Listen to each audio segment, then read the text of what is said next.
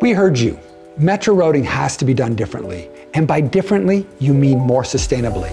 Our customers tell us that one of the biggest challenges they have in building a network today is being able to build the network you want without breaking the bank. You want to be able to deploy what you need for today, but have the flexibility to grow as your network grows. And that's why I'm really excited about WaveRouter. When you're starting out, you don't have to worry about using too much space, too much power, or too much cooling. WaveRouter can grow into non-adjacent spaces, non-adjacent racks. That's what it's designed to do. You might even do it to take advantage of more efficient powering or cooling structures. WaveRouter gives you that flexibility.